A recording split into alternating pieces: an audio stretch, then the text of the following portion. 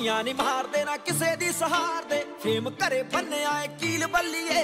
ਲੋਕਾਂ ਦੀਆਂ ਹੁੰਦੀਆਂ ਮਹਾਲੀ ਆਫਿਸਾਂ 'ਚ ਸਾਡੀ ਪਿੰਡ ਬੈਠੇ ਨਿਬੜਦੀ ਡੀਲ ਬੱਲੀਏ। ਸਾਡੀ ਪਿੰਡ ਬੈਠੇ ਨਿਬੜਦੀ ਡੀਲ ਬੱਲੀਏ। ਉਹ ਸਾਡੀ ਭੇਡਾਂ ਬੱਕਰੀਆਂ ਨਾਲ ਨਹੀਂ ਸਾਂਝ ਕੋਈ ਤੇ ਕਹਿੰਦੇ ਆਖੇ ਗੋਟ ਆ ਗਿਆ। ਹੋ ਸਾਡੇ ਕੱਸ ਗਿਆ ਤਲੇ ਬਿੱਲੋ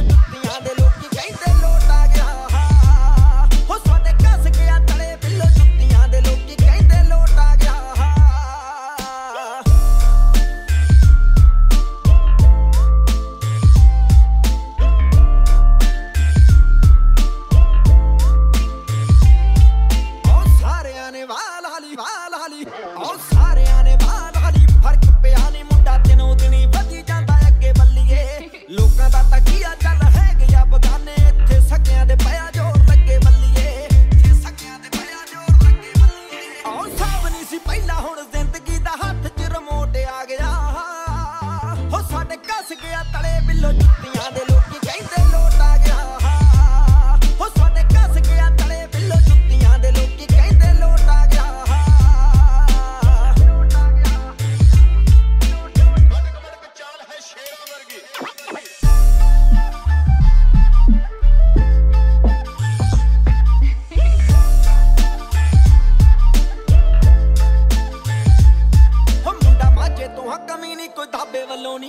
ਚੱਕੀ ਫਿਰਦਾ ਗਰੀਨ ਝੰਡੀ ਬਾਬੇ ਵੱਲੋਂ ਨਹੀਂ ਖੱਪਦਾ ਏ ਮੱਖੂ ਜੱਟ, ਪਾ ਪਾ ਕੇ ਟਾਈਮ ਪੂਰਾ ਡਰਦਾ ਨਹੀਂ